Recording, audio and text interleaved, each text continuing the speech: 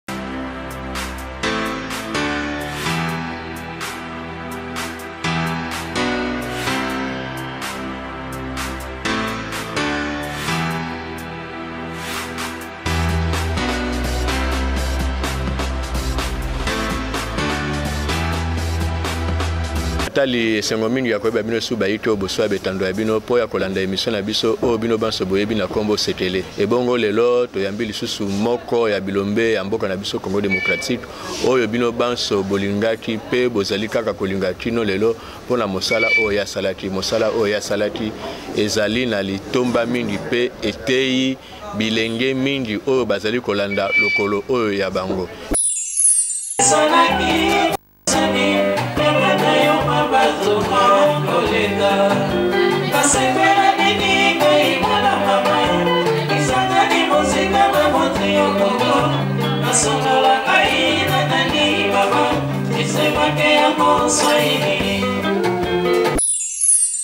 Touti koyoka sangana na mato ya bato bayoki mpenza misapi ya Nico. Bon, nzembo wana sangana ezali nzembo Nico moto abetaki yango. Donc ngai nabeti kaka ndenge abetaka na disque. Kolongola te, kobakisa te. Nalongoli te, nabakisi te ndenge eza na disque kaka ndenge nabeti. Kasi na ntango na bino wana Papa Divano, banzembo ebimaki. ba texte bien raffine ya kolakisa bombanda me na kobombana soki na ngambo ya niko bayebi lokola toyebi nganga na bino bokokoka ngai te nyonso bokosalaka bino mpe bozangaki maloba te eh. omoni na ntango wana euh, tokoki koloba te ke tozoswana non koswana te mais lelo tokoki kobenga yango lokola émulation artistique oui ntango yo osali eloko biso toyoki toza bamusicien biso nyonso toza bamusicien nayoki ke hmm, eloko wana asali eza kitoko me ngai sikoyo ifo naluka nasala oyo eleki yango donc ezalaki émulation ye mpe ntango akoyoka ngo ngai nasali abi ah abeti eloko boye ni fo mpe ngai nasala boye naleka donc ezalaki mwa toloka mwa concurrence moko loyale ezalaki ya mabe te tokende tofingana tofinganaki te na ngambo na bino nzembo nini bobimisaki bon biso tobimisi à vrai dire biso oza baexécutant Mhm. ngai nayebi na ngai te nzembo nini oyo basalaki contre mutu tel nayebi na ngai te moyen koyeba yango eza te parce que mutu aye na nzembo na ye alobi tala nzembo ngai naye na yango yango oyo bobetela ngai yango ngai nayebi te asali yango na intention nini ngai nayebi na ngai te ngai naza na ngai exécutant nabeti na ngai kaka nzembo oyo boyembi okolobaloba kaka bon nayebi te soki asalaki yango na intention mosusu me ngai nayebi kaka ke eza lokola banzembo nyonso oyo ngai nasi na repete na ye nazobeta nayebi te soki adirigeaki yango contre quelqu'un oyo likala ya moto nayebi na ngai te nayebi te likala moto mosusu nzembo lokola mokolo na kokufa bakoma yango yambo te bobanda barepetition comme baartiste professionnel bobeta yango kaka ndenge wana nzembo ya mokolo na kokufa ezalaki nzembo ezalaki composition ezalaki te ke bacomposaki yango nde bazozela sikoyo to repete non mokolo yango tokamatani eh, rochora azalaki na ndako epai na ngai nakoti na voiture na ye tokei epai ya Fogus. Fogus tango wana azo vanda je crois la bokote na, na rankin. Na matonge wana. Na matonge. Ba instrument biso to betaka nango. Zalaki kolala kuna epai na bango parce que ye oyebi ke yaga petit frère ya Roger Izeidi. Roger Izeidi mon le roi de Maracas. Bon, ba instrument na biso ezalaki kovanda wana. Alors ntango tokomi epai Fogus bon lokola ba instrument na biso eza wana ngai nake nazwi gitare oyo ngai nabetaka na yango nabandi kobetabeta na nga fogisi mpe azwi gitare na ye ye mpe abandi obeta mais tosentir ke gitare yango na ya ye na yanga ezalaki un peu désaccordé tobi non to accordé liboso bagitare avant tobeta biso mibale il faut to accordé bagitare to accordé bagitare bagitare tosentir ke ekomi mwa bien bo tomeka eloko moko mpo toyeba ke bagitare ekomi malamu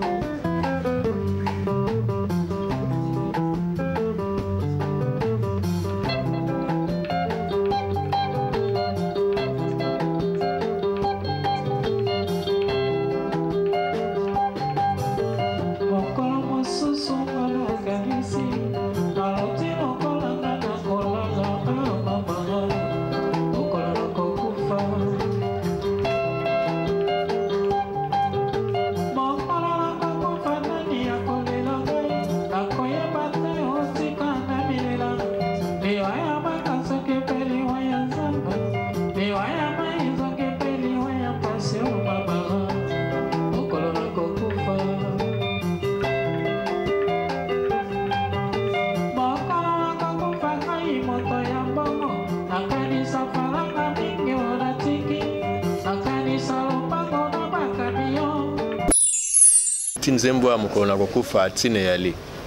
mpamba te na ntango wana na eteyelo oyo babengi nkombo african jazz epai wapi kabasele chamala le père de la musique congolaise moderne azalaki elongo na baninga na ye rochero izeidi monkoi docteur nico kasanda desho momba kuna ezalaki na miziki moko ezalaki différente na oyo bazali kobenga ecole oke jazz soki botali ebeteli ya papa givano otali accompagnement oyo toyoki ya papa Faugus na nga, wana na Africa Fiesta nationale epai ya Seigneur Richero na ngambu epai ya, epai ya Docteur Nico soki oyoki guitar ya Docteur Nico oyoki accompagnement ya Desho Mongala Desho Mwamba okomona ke bilenge mibali bazalaki kolinga mosala na bango mpe bapesaki oyo mpenza ezalaki na kati na bango mhm. bosuki se wana te bokomi ti na mboka montréal kolakisa elongi ya mboka na biso congo kasi bouti montréal kozonga bozongaki awa likama ebandi kokoma na kati ya african fiesta nationale boweli nini bon c'est vrai tokendeki na, na montréal na exposition Montréal à 67 euh, je crois 67 68 67 tokei tozongi alors euh, likama esalamaki ke tokendeki kobeta epai ya feu nendaka ntango tokoki kobeta epai ya nendaka tolekisaki l'heure heure elekaki parce que la même soirée wana il a fallu que eh, basala élection miss na na parc de book na, na parc de boc na lero babengango parc de boc lelo ekoma jardin botanique jardin botanique alors na jardin botanique déjà na ntango wana moni président ya république ntango wana eh, président mobutu asi aye avandi mais orchestre eye nanu te toza nanu kobeta epai kuna epai ya nendaka alors tomoni kaka mbala moko kuna epai toza kobeta bakara basoda eye abi ale biloko kotisa biloko toke toke ale toke tokangi musique biloko ekoti na kati ya mituka biso nyonso tu toye na na parke de boko wana toye kokuta bato batondi bato ebele parce que ezalaki élection miss mokolo yango orchestre nanu ekoki te babandi koinstalle babandi koinstalle babandi koinstalle installation ntango esili etikali kaka moke tobanda kobeta président akamati madame na ye babimi na bango bake na bango le maréchal mobutu oui batikala ya koyoka miziki wana te bango bakei na bango bon biso totikalaki biso toyebaki makambo yango te toyebaki te biso toyaki na biso baexécutant toyebi te bakonzi osi bazwaki misolo na bango toyebi te soki bazwaki mosolo to bazwaki te mais en tout cas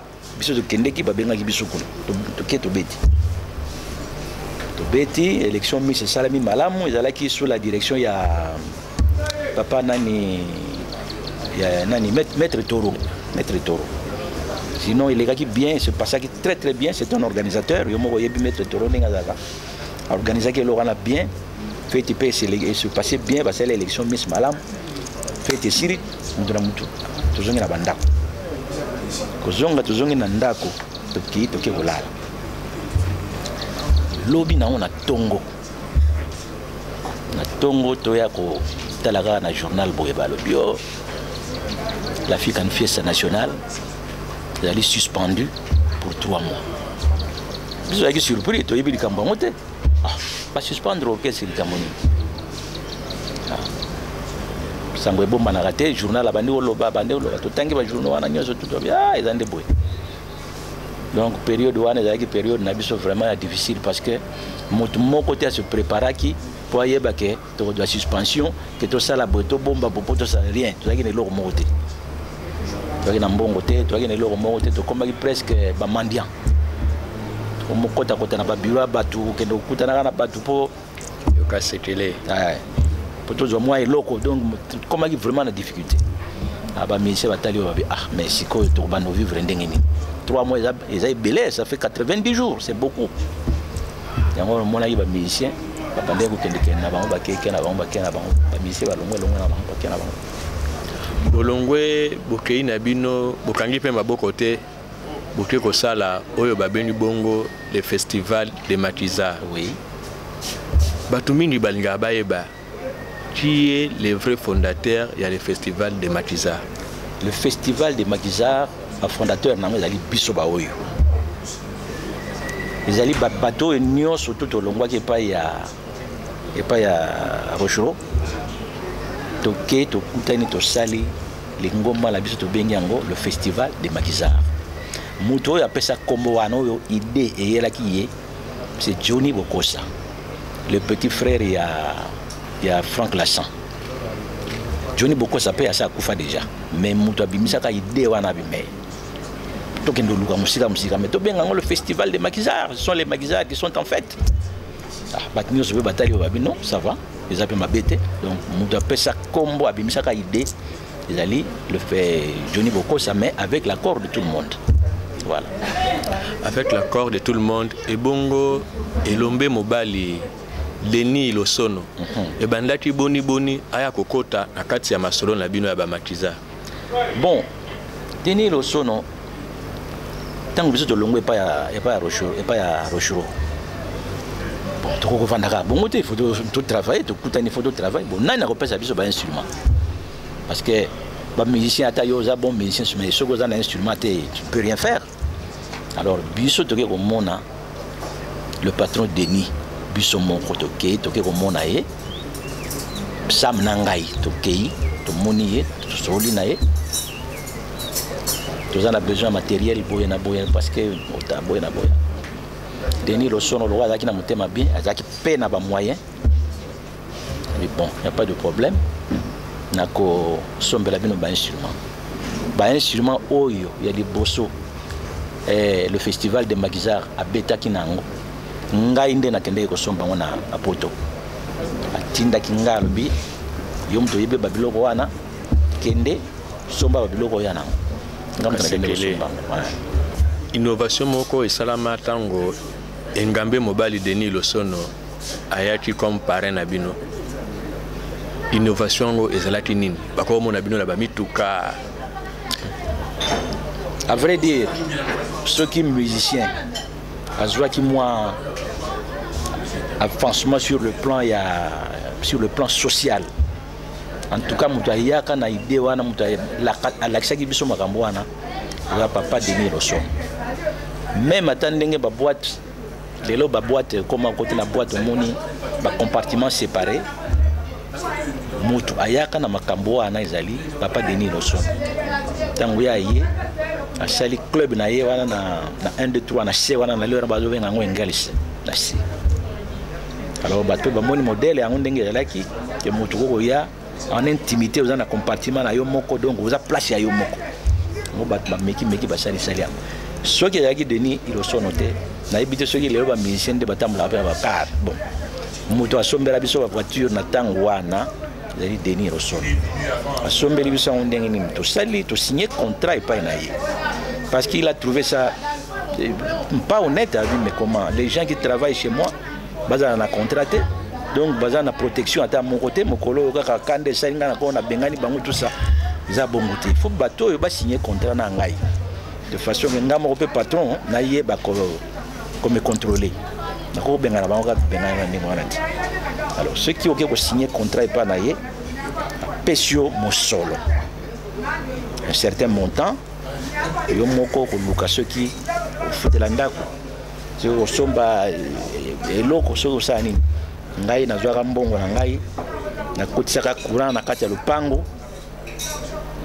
nakoti courant na lopango na biso ezalaki na courant te nasombaka voiture sam mpe asombaka voiture bamusicien nyonso batikalaka nsima ya sam na ngai bazalaka bango nyonso tout sans exception bazalaki na vespa donc tout le monde était véhiculé bino nyonso bosigne contrat mpe bozwi eloko oyo koopesa yo sur le plan social mwa stabilité mm.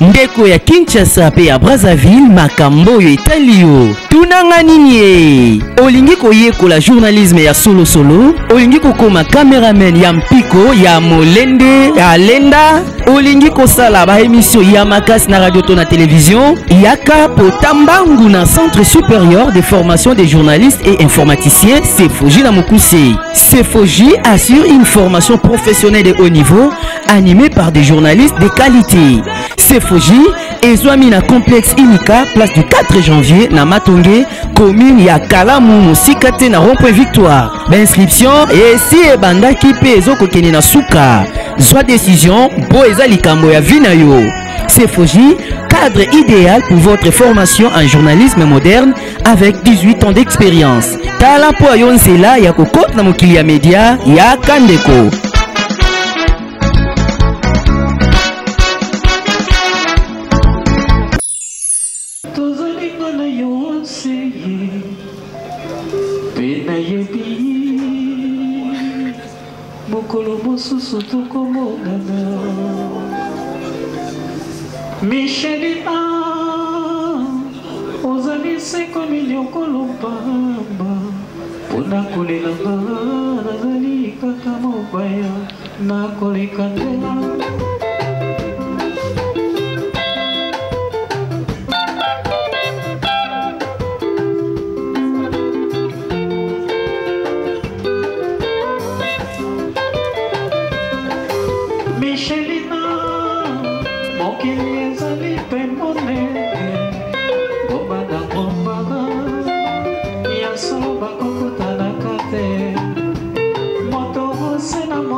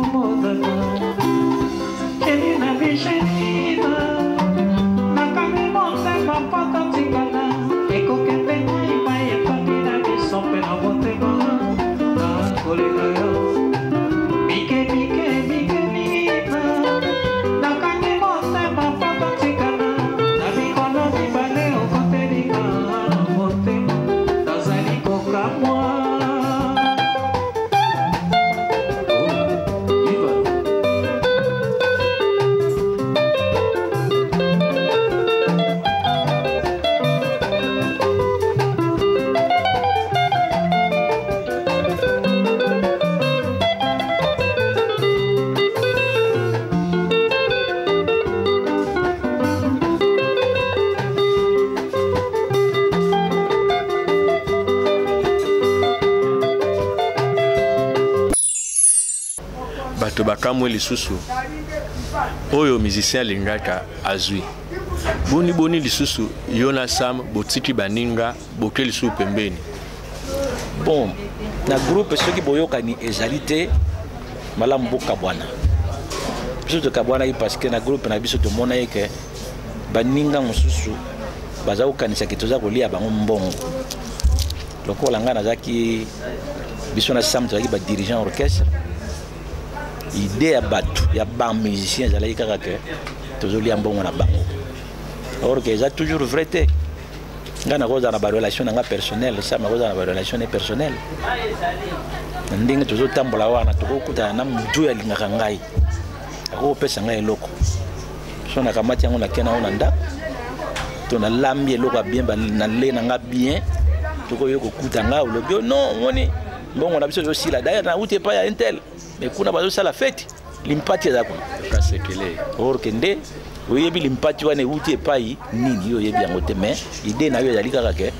toyibi bino mbongo eka malamu bon tokabwana lokola toza bato toyibi bino mbongo bon ça va tokabwana bango bake basali le, le grand magisa biso toke kosala le festival de sam et duvano biso mibale le festival de sam et duvano bino mibale les deux leaders kasi eumeli mpe mingi te bokabwani lisusu eumelaki te eumelaki nkutu te omelaki te parce que boyokani mpe na kati na biso mibale ezalaki lisusu malamu malamu mingi mingi mingi te alors euh, topréféraki ke tokabwana tolie ke toluka mindondo ya kozalaka place moko me bozoyokana bien te eza malamu te yango tomonaki malamu tokabwana yo continue na ndenge na yo nga mpe na continue na ndenge na ngai ya continuaki na ye en tant que musicien nga na continuaki na ngai en tant que journaliste bon donc euh, papa divano likambo bato bakamwa mobeti monene lindanda bakamwe papa divano journaliste mpe occupe occupe baposte clé na kati ya rédaction mais nautaki koloba yango awa na ebandeli bato ya kala bazalaki kokanisa ke soki oza musicien donc okota kaka classe te oyebi kaka eloko te donc oza moto oza rate yango wana oke na mosala ya musique ezali toujours vrai te napesaki exemple ya baprofesseur awa baprof oyo baza na université mais bazala baza mpe bamusicien en même temps ngai nazalaki eh, nayebi kobeta nabetaka gitare mais ntango namoni ke mosala wana elingi ejusa nga mabaku ebele nakosala nini nakotika mosala wana nakosala mosala mosusu parce que à l'école tozalaki déjà na aptitude ya kosala batek ba, ya kokoma na journal tozalaki na journal moko ya bana classe donc moto nyonso aza na likambo na ye na kati akomi akomi akomi mpe baprofesseur baza kolakisa biso le style journalistique donc toyebaki kosala yango si bien que ntango naboyi mosala ya miziki oyo nakomaki eh, journaliste nakendeki na, na, na, na kananga nake kosala na journal kapia où j'étais d'abord eh, le chef ya rubrique euh, euh, euh, culturelle après baye konome ngai secrétaire de rédaction après baye konome ngai rédacteur en chef adjoint ntango rédacteur en chef oyo ya ngai azwaki baproblème ngai nazalaki koremplace ye parce que azwaki mwa suspension pendant quelque temps boye moi je le remplace donc ngai nayebi na ngai ndenge babimisaka journal ndenge nayebi na ngai kasekele papa givano ata kokimaki miziki ozosenga meme na nzambe alongola yo mayele wana ya kobeta gitare miziki etikaki yo kaka te ntango na bombanda ezalaki ya fiesta national ya rochero na african fiesta sutisa ya docteur nico yo na docteur nico bato ya songisongi bazali na kati que sur le plan artistique yo moto précipité mort ya, ya docteur nico mais epai mosusu soki totali pendant passage à vide na yo wana yo na docteur nico bokomaki baninga makasi mpo na nini bon la vérité est que au début ngai na docteur nico ngai naza kolinga docteur nico mingi parce que mpo na ngai namonaki musicien namonaki guitariste mosusu oyo akokanaki na ye te mpo na ngai donc je l'aimais beaucoup beaucoup beaucoup alors soki lelo bato bazoloba ke moto aboma docteur nico sur le plan artistique ezali bivano ngai esalaka nga mpasi parce que moto oyo ngai nalingi nakende koboma ye ndenge nini kokoboma ye te au contraire soki nazobeta babiloko oyo abetaka nazobeta yango naza komeforce nabeta yango lokola ye moko abetaki yango c'est parce que nalingi na perpétuer eh, mémoire na ye niko akufa c'est vrai mais niko mpo na ngai azali ce n'est pas n'importe quel musicien azali donc aza musicien au sommet mpo na ngai donc yango wana bato balobaka biloko ya ndenge wana enfin nayebi te so balobaka yango na ndenge ya blague to ndenge ya nini mais vraiment est ce que ngai mpenza nabomba niko na ndenge nini babi sur le plan artistique ngai nabomaki nabomi ya ndenge nini baexplike ngai mpe na comprenaka te ndenge bozalaki na docteur nico soki bozosola na ye curieusement ditare eza ozala te bon au départ Docteur ndeko na ngai tozalaki na biso kosolola te. Moi je le voyais de loin, moi je l'aimais bien. Nayebi te ye mpe na kote na ye soki aza kolinga ngai nayebi te. Mais ekomaki ke Nico aye kolinga ngai ngai nakoma olinga Nico donc tokoma olinga. Donc il ne se passait vers la fin de sa vie, il ne se passait pas une semaine sans que ya luka ngai donc ngai nakende koluka ye à ce moment là nazalaki na nazalaki kogere bar moko na njili nkombo ya bar wana jejeco na quartier 3 je peux dire que chaque samedi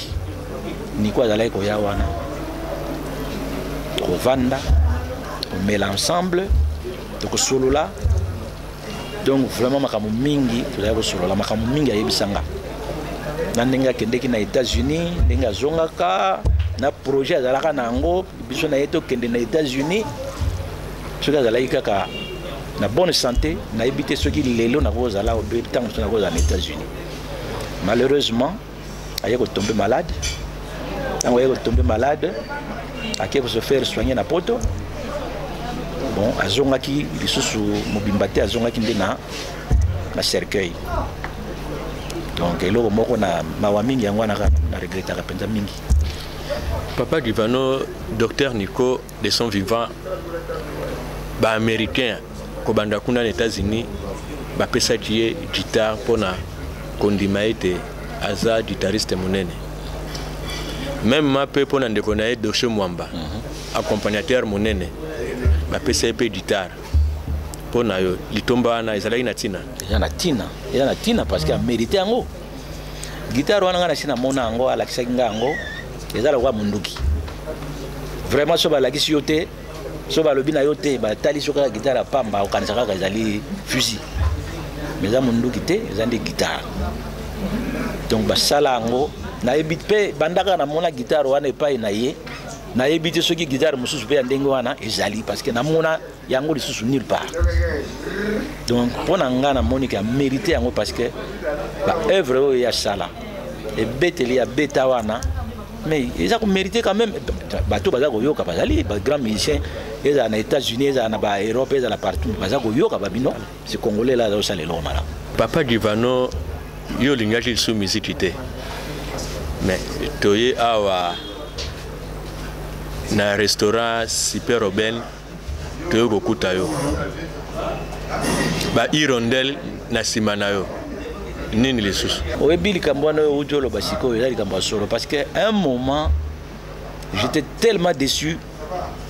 ke nalobaki nzambe elongola ngai esprit oyo ya kobeta gitare nayeba donc nabosana na ngai kobeta gitare nayeba na ngai lisusu te longola ngai esprit wana parce oyo nayebi na ngai kobeta gitare te nakokota na ngai na orchestre te nakozala na ngai na bacollaborateur ya bamusicien te nakovanda na ngai moko mais comme on dit chasser le naturel il revient au galop nasalaki mwa ba mwa temps molai sans que nasimba guitare vraiment expressement je dis nakosimba su guitare te mais nayebi te naye koretombe naye koretombe kaka donc euh, nazongeli kaka nazongeli je ne sais pas pourquoi mais moyen na explique yango eza te eh, mais nazongi kaka orchestre oyo les hirondelles ya yo to ya yo te orchestre oyo les hirondelles ça c'est mon orchestre tobetaka awa na place okuti biso babengi super open orchestre yango komona yango les hirondelles bahirondelle elingi koloba nini hirondelle ça annonce le beau, le beau temps ndenge toyokaka na bafrançais ndenge balobaka l'hirondelle annonce le beau temps soki hirondelle moko aza ko annoncer le beau temps mais ba hirondelle soki baza ebele plusieurs beau temps donc c'est ça le problème yokasekele euh. bandeko batali tokomi mpenza na suka ya emission na biso oyo toyambaki lelo engambe mobali babengi ye nkombo ya givano oyo abotami na nkombo ya jean paul vangu jean paul vangu ye asali mosala monene na mboka na biso na mosala na ye ya kobeta lindanda papa divano emission na biso sekele omoni yango boni tokozala kaka mpe éternellement te tokobanda kokendeke na biso kaka lokola bino bozwi ide yango boya kokontakte ngai makambo mingi bato bayebaka te mais lelo nabimisi yango clairement lelo à partir ya lelo bakoyeba ke ezalaki boye ezalaki boye ezalaki boye parce que moto alobi yango eza moto mosuki eza ngambo nalobi yango papa duvano obetaka awa na super oben mais soki totali na ngambo mosusu naleki na yo bari baruti bari baruti oyo bato bayebi ye adesinaka mais abetaka mpe lindanda olukaka nini lisusu na ye koyeba na nga barle baruti nayebaki ye en tant que dessinateur seulement nayebaki ye kaka lokola dessinateur alors un jour toke kokutana chez un ami commun je crois ezalaki epai ya epa kester emeneya emeneya alors tosololi tosololi tosololi boyo abinanga non ngai naza na place moko awa na, na, na place yango babengaka yango espace à suivre toki mokolo eh, okoya botala ndenge yango ezali ah, bon tofixe kaka rendez-vous tofixe rendez-vous comme ça toya mokolo yango mokolo yango mpe aye ngai na biso toyaki ngai na focus tokei ye mpe azalaki kozela biso ayambi biso très bien ainstalle biso makambo tout bien bien bien bakopo etamboli wana na mesa un moment à disparaître akei na ndako akei kozwa namoni abandi oya na deux guitare en bandoulière intérieurement nga na bi ah nga nazanga moko guitariste awa ayeyela nga baguitare mibale nakosala nango nini mibale pourkui akamati gitare moko ntango aye apesi ngai gitare mosusu ye atikaki nanga abi na ngai bon vieux yoka nanu mwa genre babiloko oyo ngai nabetaka bongo ozwa mwa idée soki eza ndenge nini okomona yango ndenge nini ngai nakanisaki kaka biloko moko ya ya ndenge wana ndenge mais ntango asimbi guitare nga nakamwi nga ce n'est pas vrai oyo barli barujo azali ah, je le connais seulement en tant que dessinateur azalaka mpe lisusu guitariste alors je vous assure que accompagnement abetaka ndenge accompagnaka banzembo wana nasepelaka na style yango eza genre ya baaccompagnement yango ngai nalingaka vraiment yango wana yango wana toselaki mwa mariage na biso ngabi bo alors dans ce cas tokobanda koya kokutanaka de temps en temps tobongisaka mwa quelque chose parce que c'est le genre ya musique oyo ngai nazalaka na besoin na yango lokola ye azalaki mpe na musique yango bon c'était bien ça tombait juste bandeko batali boyoki bongo papa givano alobi bongo ebeteli ya guitar rythmique to mpe oyo biso tomekaka kobenga accompagnement baaccompagnateur na mboka na biso batika bilembo minene lokola desho mwamba simaro lutumba bolene mpe azali kobeta yango soki toyei na miziki oyo babengi ya troisième génération soki totali mobeti lindanda monene lokola tedi sukami zamwangana toye na ngambo ya langalanga stars oyo abinisaki biso mbirimbiri oyo bazali kobenga na nkombo Eddy Mambungu. Yango wana ezali na litomba mingi kozala na pembeni ya baye oyo basalaka mosala moko oyo yo mpo osalaka mpo te okoka kozwa mwa mayele na maye nde totie lituna ya suka na eteni ya biso ya mibale ya emisio na biso tokotondo botondi baye banso basungaki biso mpo ete emisio oyo ekomela bino obandako na bino na ndenge elongobani mingimingi tozali komona charlie lowala martin barwani Ibish Barwani, Kati Maembo, Mama Sekele, botikala malamu, kimia o mabota ma bino.